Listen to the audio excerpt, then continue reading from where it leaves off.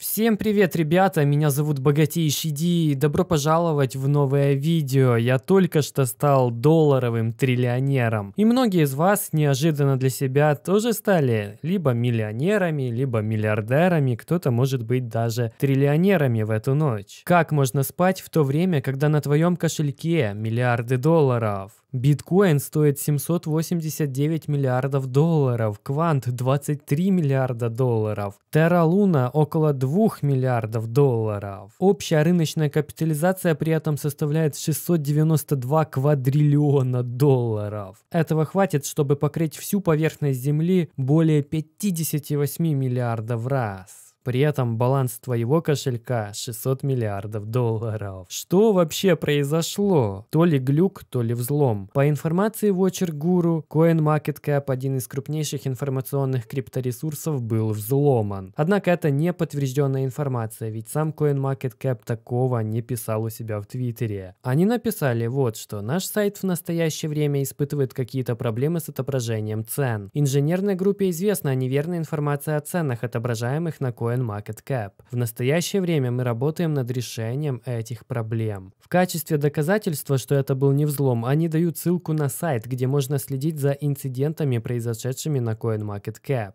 Меня лично это не совсем убедило в том, что мы просто столкнулись с глюком, а не со взломом или еще каким-то конспирологическим трюком. Потому что все это происходит 15 декабря, в день собрания ФРС, посвященного инфляции, программе закупки активов и процентным ставкам. Это собрание, видимо, будет иметь последствия для рынков, и оно не может быть проигнорировано. Странно, что такой глюк произошел именно в такой важный день. Не вчера, не завтра, именно в такой важный день. Кроме этого, этого интересно заметить, что на сайте Yahoo Finance, открыв график цены биткоина, можно увидеть, что во время этого глюка на CoinMarketCap цена биткоина падала с 47 тысяч долларов до 32 тысяч долларов. Буквально за один час. Почему это произошло одновременно с глюком на CoinMarketCap? Трудно ответить, но это очень подозрительно. Я нашел интересную диаграмму, и ты наверняка думаешь, что она значит. Это книга лимитных ордеров на криптовалютной бирже Bitfinex. Интенсивность цвета означает размер этих ордеров на той или иной отметке цены биткоина.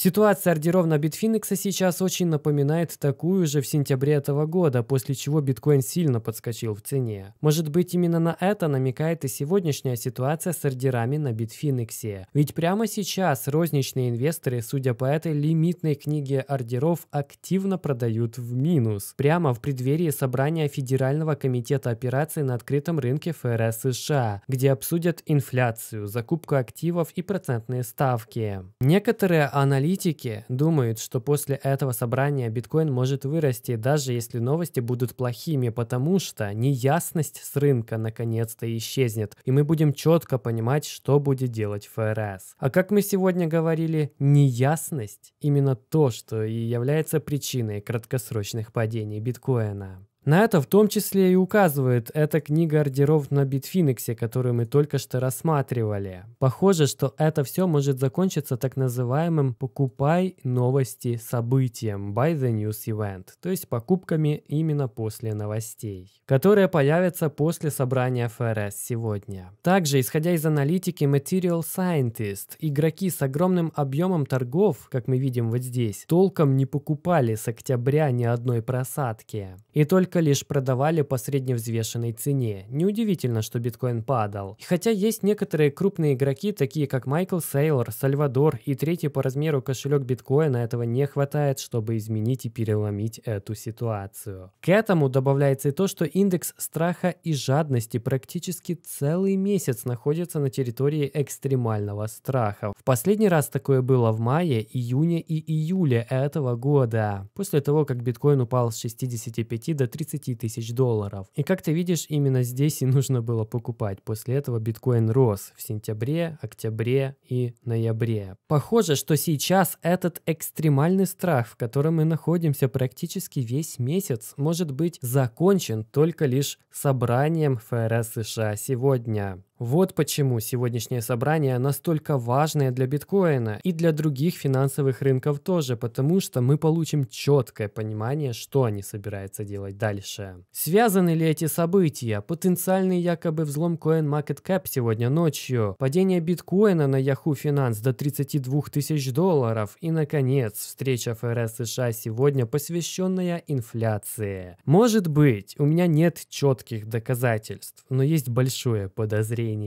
Мне кажется, что-то здесь неладно. И, наконец, я хочу тебя спросить, каково чувствовать себя триллионером хотя бы несколько часов подряд? Напиши в комментариях. Мне, например, было очень приятно. И очень жаль, что это не по-настоящему. Меня зовут Богатейший Ди. Спокойной ночи, увидимся завтра.